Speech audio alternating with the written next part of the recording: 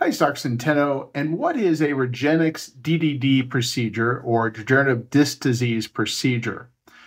A DDD procedure is an advanced spinal injection that focuses on the entire functional spinal unit.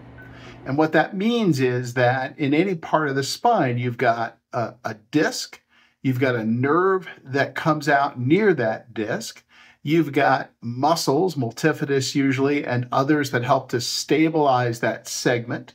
You also have ligaments there as well.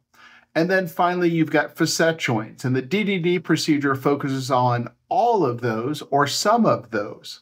So, unlike your just average epidural or facet injection, DDD is a regenerative medicine procedure that seeks to reduce the instability at that level treat a pissed off facet joint if it's there, or to try to reduce the degeneration in that facet and or nerve, disc, etc.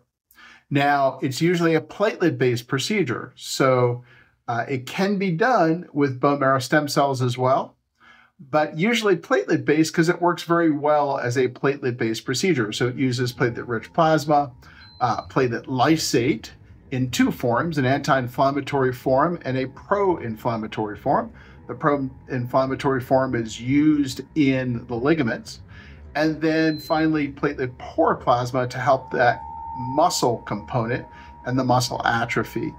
So it's a treatment for the whole functional spinal unit. Thanks so much for watching and have a great day. Hey, get this out to more patients by like, comment, share, subscribe. Thanks so much.